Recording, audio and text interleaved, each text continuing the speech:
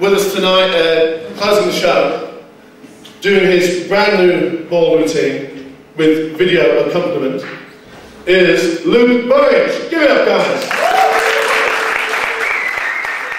In 2003, I set myself a goal for the year to create and perform six juggling routines, all with various numbers of balls. I thought I'd start in the obvious place with a three ball routine, and I wanted the three ball routine to be about three ball juggling.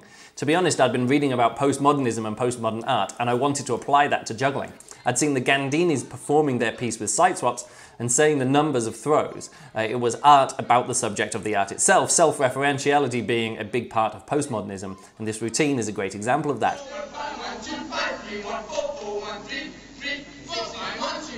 But I thought I could push it further. This was before Wikipedia existed, but if you look up postmodern art now, you can see some other things that I thought I could apply to a juggling act. Conceptual art and multimedia, particularly involving video so that's a good start. Uh, the use of text prominently as a central artistic element. Sounds good. How about the words appearing on a video? I plan to perform the routine for the first time at the British Juggling Convention in 2003 in Brighton, so I picked um, a music track called Not From Brighton by Fatboy Slim, who happened to live in Brighton. I also wanted the routine to be based around what I thought of as building blocks of three-ball juggling, so patterns and repetition, not individual tricks. I found that not sticking to the strict tempo required a rigorous side swap meant that I could make make tricks switch from left hand to right hand. Uh, the cross in the routine actually has a side swap value of 4, but is thrown to the other hand. And because I was intentionally being postmodern, beginning with the 441 uh, was me acknowledging the Gandini act as the inspiration right at the start, and a knowledgeable audience would be able to get that too. So I made the choreography and then used video editing program to uh, make a karaoke style display of text. I ran that off onto a VHS tape and I performed the routine for the first time at the Birmingham University Juggling Convention in 2003. The act was an instant hit, meaning that I got more good feedback about that routine than anything else I'd previously performed. The reaction was so strong that it was the first time I ever considered myself good enough to be a professional juggler because performing for a living isn't just about being good at juggling, but actually having a good show, and this was it. Uh, maybe it shouldn't have been a surprise. The juggling acts I'd tried previously didn't have the pinpoint focus of this one. Having a goal of the routine not being based on tricks, instead being an experiment in postmodern art, means that even falling short in terms of the juggling, like dropping a few times, means that the story of the act carries through but there was still work to do. I wanted to push the postmodernism even further. In Brighton, after I performed the original routine on the Renegade stage, I came back up to show a video of me juggling the whole routine, and then held flashcards with the words on, saying the words into the microphone and commenting on the juggling. How many Gandinis did it take to the light bulb? Three, three, four, four. Back cross, back cross, back cross, back cross, back This routine really only made sense because the audience had just seen me perform the original 20 minutes before, but it was a fun gag. My real goal was to perform the original routine dropless at least once and then retire the act. Uh, to be honest, it was annoying to always find televisions to set up on stage. On the sixth performance that I did at the Crawley Juggling Convention in 2003, later that year, I got through with no drops and thought that was it. You know, I still had another three ball juggling acts to finish by the end of the year. Except that wasn't it. I still liked the juggling in the routine itself, and I'd put in a lot of effort into being able to do those tricks in that order without dropping. But I didn't want to always have to have a TV on stage with me, and the act was too long and a bit too repetitive anyway. I cut the choreography down to the best bits, and wrote a new piece of music to the appropriate length. A juggling act rarely needs to be longer than two minutes, and with it this short, I could combine it with other routines and not outstay my welcome on stage.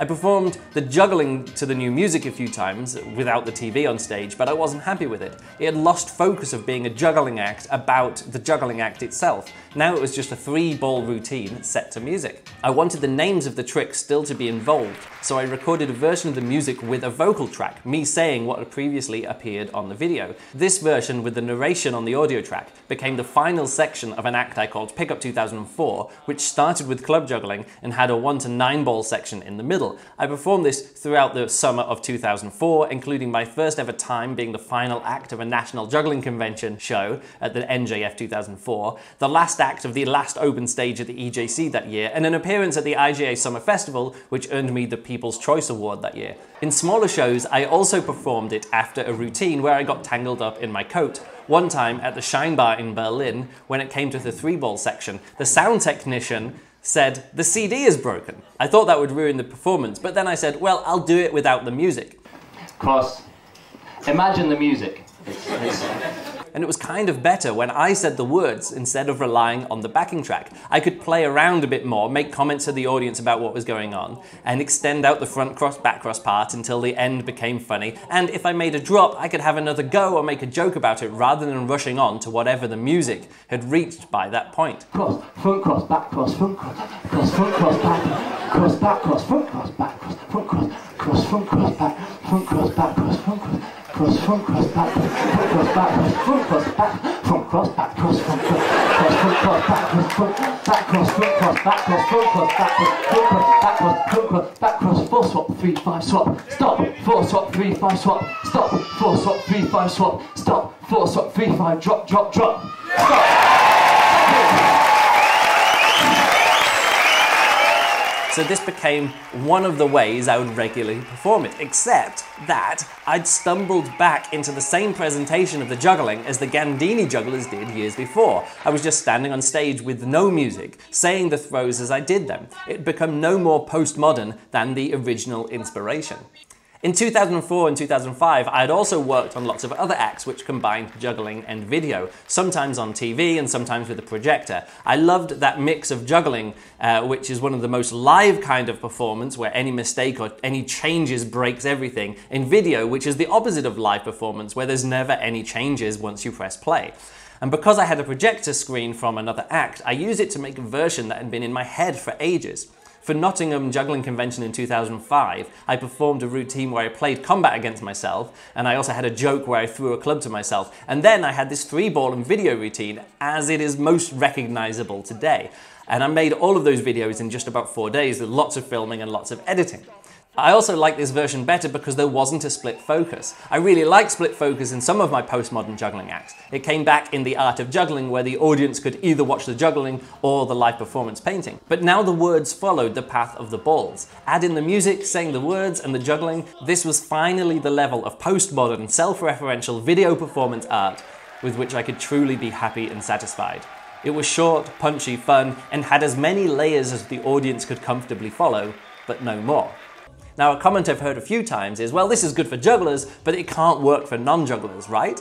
Well, that's wrong. Non jugglers love this routine. It's the part of my show which to this day gets the most comments and praise. However, for it to have the full impact, I can't rely on the existing knowledge of the audience. Jugglers already know the words and the numbers and what they mean, so it clicks right away. But non jugglers need a bit of help. So when I started performing this on cruise ships, I wrote an introduction. It's not a true story, but it's based on my real experience of learning three ball tricks when I was about 13 years old. The higher the number, the higher the throw. The lower the number, the lower the throw. So a 1 is down here, and a 5 is all the way up there. Is this making sense for everyone, yes? By putting myself in the role of someone ignorant, learning the names of the tricks for the first time, I bring the audience along on that journey from the position they are in right now. And he showed me his new trick again, but this time he didn't just show it to me, he said it to me. He said, Luke, the trick that I showed you before was called the 4-4-1 tailwind behind the back catch cross 4 squeeze.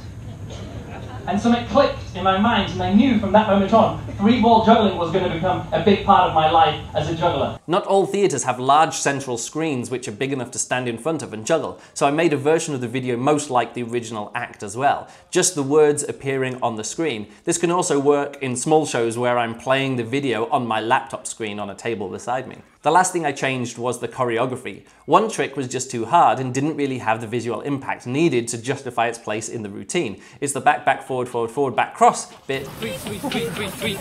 And I did it three times in the show. That's three chances to mess it up. Every time I approached that one trick in the routine, I had to tense up, knowing that this was the place in the whole act I was most likely to drop.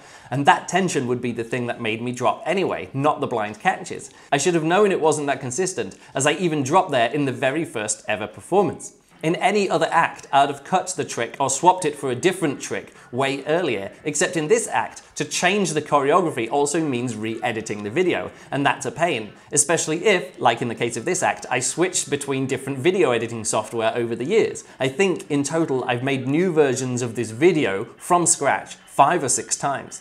So in 2013 or 2014, I took out the hard trick segment and replaced it with some body juggling tricks, bouncing the balls off my arms and legs and head. This fits with the overall story of my complete theatre show, even if it breaks with the original concept of only using blocks of juggling patterns and not individual juggling tricks. I shouldn't have worried about it though, as nobody noticed the change. Actually, the only person to ever both notice this change and ask me about it was Wes Peden when we performed in the same show in 2016. Now I perform this act on every cruise contract I do, and almost every time I'm invited to a convention to perform. It's a super strong opening to a show, especially if I'm hosting. It also works great on open stages or renegade shows. So that's all I have to say about the history of my three ball and video juggling act. And I think it goes to show that if you create a juggling routine or a juggling act with a clear goal in mind, a clear story that you want to tell, in this case, I wanted to experiment with how far I could push postmodernism in juggling you can get a routine and an act which you can still be performing on stage 15 years later. drop, drop, drop.